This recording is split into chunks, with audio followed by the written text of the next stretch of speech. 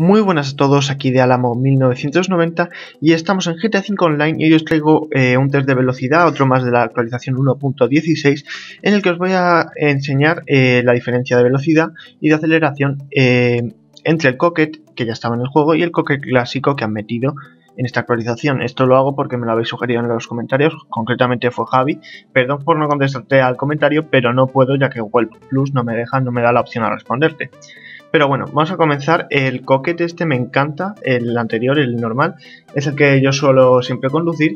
Y luego el clásico es este que han metido nuevo, es, es el descapotable, pero corre igual que el, el que tiene la capota puesta. Y eh, la verdad que este tampoco está nada mal, aunque me gusta más el otro estéticamente. Pero ahora veréis que la diferencia en cuanto a velocidad no es mucha. Aquí empezamos, eh, pongo el cronómetro a la vez, están sincronizados, podéis parar el vídeo en cualquier momento y ver a qué nivel está de la pista de aterrizaje para ver la aceleración.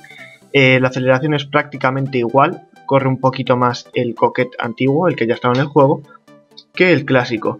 Y ahora cuando lleguéis vais a ver que llegan prácticamente a la vez, o sea, hay un fotograma de diferencia en el que llega un fotograma más tarde el coquet clásico. Sin embargo, si es verdad que, que se, que se desvía un poco el coquet eh, que ya estaba dentro del juego, el normal, eh, se desvía un poco hacia la derecha y hacia la izquierda. Por lo tanto, ese es el más rápido porque, a pesar de ser solo un fotograma, después, pues, eh, si cuentas lo que se ha desviado, sería, hubiese llegado casi un segundo antes. Entonces, ya definitivamente el coquet es más rápido que el coquet clásico. Sin embargo, el clásico hay gente que le gusta mucho más por cómo se ve, aunque ya a mí me gusta la verdad más el, otro.